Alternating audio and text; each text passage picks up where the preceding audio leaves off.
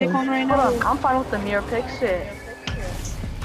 Not if you can't see my face. The, the, Nah, trust, I, I can visualize your face. Alright.